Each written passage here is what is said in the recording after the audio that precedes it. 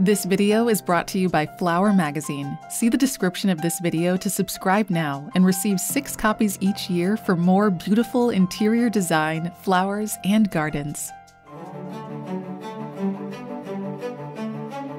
As soon as uh, I found out that we were going to be a part of the show house, started scouring uh, some old ideas for inspiration, some new things, and uh, there was an Instagram story that Jen Gracie, uh, Jennifer Gracie of Gracie Studios posted of a remake of one of their vintage papers that had a gold 24 karat or 22 karat gilded background. She said, we've pulled this out of the archives and it's coming back. And I immediately wrote her right back and said, I want to use this in the flower show house. Hi, my name is Mallory Mathison Glenn and my design firm is Mallory Mathison Inc. And we are so excited to be here in the Flower Show House. And the spaces that we've designed are the ladies' sitting room, ladies' study, and the adjoining bathroom. This is so amazing. I'm doing a room that has some angled walls, not a full octagon, but that you know has, has kind of these little facets around the room. And this room is going to feel like you're in the middle of a jewel. I love the little study that eh, you have to walk through the main sitting room, uh, kind of curve around, and you find yourself in this lovely sun-drenched room that is so inspiring to do work, but also so restful to take a nap or have a cup of tea. It's a little bit of a, moment of calmness after all of the exuberant metallic and colors that are in the sitting room. We wanted to create another space that balanced all of the, the layers and was uh, just a moment of serene in, and, and I think that we did that beautifully and I would love to spend more time in that space. Really the day bed, the uh, the dressings around it, and the little tete-a-tete desk where two people can sit and talk, um, work simultaneously, or just have a chat.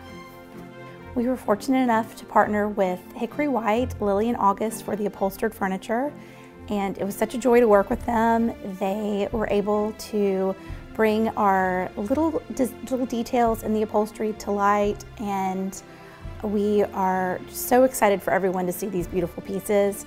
We immediately knew that we wanted to work with Cowtan and Tout on the fabrics. The color palette that they have and some of their iconic prints work perfectly in our space.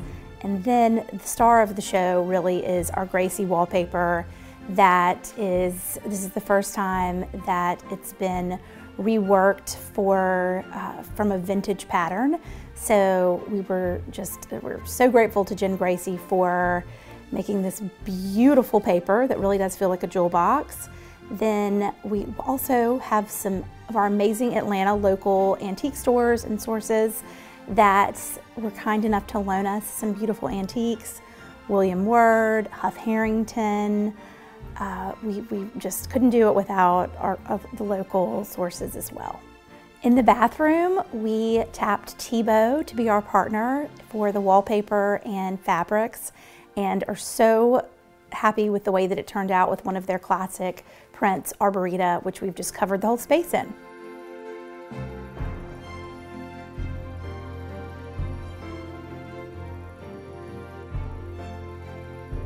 We love to incorporate original art in all of our projects, especially from local artists. And for this show house, we, we reached out to a number of artists from the Southeast. We were able to borrow art from a few of our favorite galleries, the Anne Irwin Gallery, Huff Harrington, and Gregg Irby locally in Atlanta. One of the pieces that I'm most excited about is an abstract that's in the study that my mother, Montaigne Mathison, painted, and it has our entire color palette in a really vibrant and interesting work of art. It's a really special house and every single space holds its own. One thing that you'll see throughout this house, which is such a classic element, are scenic wallpapers.